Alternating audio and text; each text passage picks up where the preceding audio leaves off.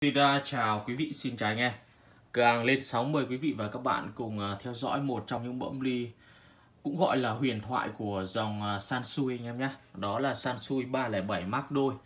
Con đơm ly này nó đi vào huyền thoại bởi vì nó ghép được rất nhiều dòng loa Cũng như từ những đôi loa nhỏ, loa to chơi được hết. Bởi vì độ nhạy ra loa của nó rất tốt luôn.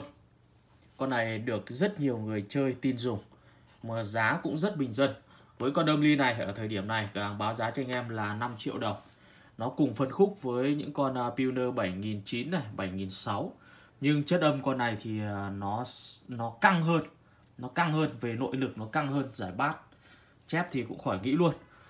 Một con âm ly có thiết kế đánh hai cầu A cộng B.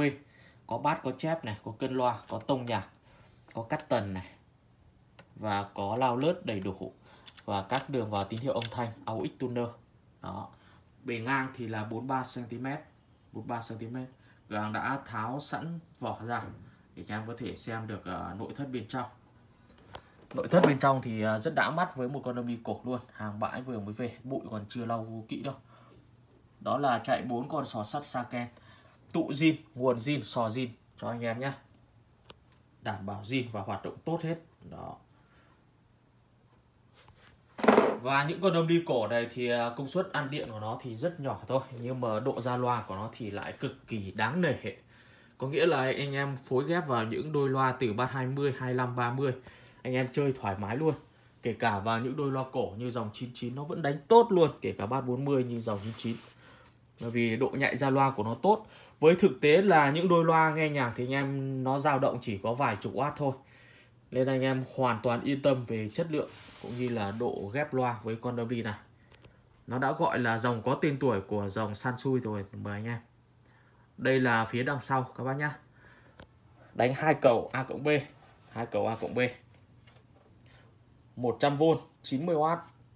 Các đường vào tín hiệu AUX tuner, phono, đường tép đó. Với những con âm ly cổ thì tầm 70W lên đã đánh tẹt bô rồi anh em nhá Chẳng hạn anh em có thể tham khảo đó là những dòng Onkyo 755 hoặc là Onkyo 722 nó chỉ khoảng 7-80W trở lên. Hoặc là Sansui Sansui hoặc Chio, những dòng âm ly cổ. Với những dòng âm ly cổ thì không bao giờ người ta mua theo watt anh em ạ. Bởi vì người ta phải nhìn vào cái nội nội thất này này, đó. Nội thất những con âm ly này nó thuộc dạng tương đối ok rồi anh em nhé. Đó. Chính vì vậy mà nó chơi hay ở đây tôi sẽ mời các bác cùng nghe tạm vào đôi loa Pioneer Bass 30 Âm ly đẹp zin Đại nắp vào luôn.